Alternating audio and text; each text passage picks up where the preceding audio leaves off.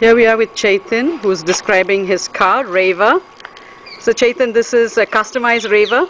Yeah, this is a customized convertible and uh, it's really easy to drive. All you do is turn the key on and you have a lever here that goes forward or reverse and you're ready to go. There's uh, no clutch or gears. It's No clutch or gears. Yes, Wow. and and then it has a boost mode which gives you extra power um, for uh, top speed. The top speed of this one is around 50 miles an hour. 50 miles. You can drive 50 miles in Yes. Bangalore? Uh, on the evenings, yes. Okay.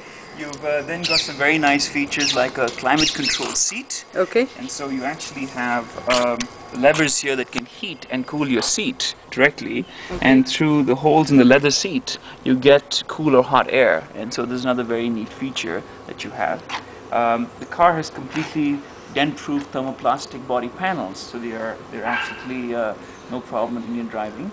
And uh, the batteries of the car are situated right under the seat, so they give you a very low center of gravity. Um, the space in the back for two kids that uh, you can sit, and uh, which uh, which which is is nice for a small family. Um, and the drive system and all the technology is right in the back underneath the rear seat. The front area is mainly for storage. Oh, the, Uh, f- that's where you, you store your stuff? that's where the you front? store your stuff in the front.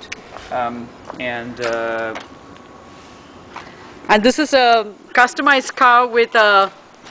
This is a customized car. It isn't. Uh, it isn't a standard production car. We're getting marketing feedback to see what people like about it, and uh, the market feedback so far has been quite positive. And this is Reva what? Is there a model name for it? Uh, we've been calling it the Reva Zephyr. Zephyr. After the train? Uh, Zephyr would be the Greek god of wind. Okay, I was thinking of the uh, Amtrak train. Thank you so much, Chetan. All right.